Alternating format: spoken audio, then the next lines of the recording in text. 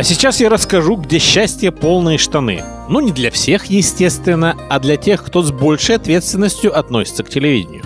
Но теперь подумайте, где то самое место. Ну, хрен знает где. Для всех.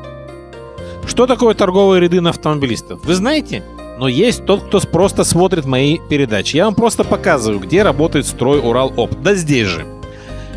Теперь о других вещах. О зависти, естественно. Зависть души души наших ИПшников и ООшников.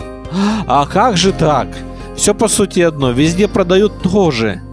Но правильность вашего бытия, когда говорят только о вас.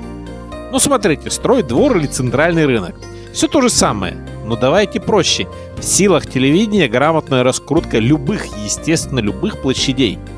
Если есть мозги-то, и будем говорить, что у меня есть мозги. Полгода это круто. Теперь говоря о цене вопроса. Да, стоит недешево. Но если отвернуть газеты и радио, то круче ТВ-то и нет. Я не буду говорить, как это делается, потому что я сталкиваюсь с такими вещами, но подумав и не только быстро, мы найдем принцип. Может быть это не дешево, но результат. Может быть еще дешевле. Объясним, как работать, не разбирая инструмент.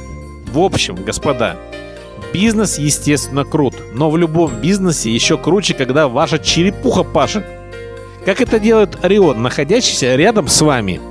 Пока вы курите бамбук, они зарабатывают деньги, реальные деньги, работая с ТВ. И к слову о том, где они находятся. Да рядом, во втором повороте к вокзальной.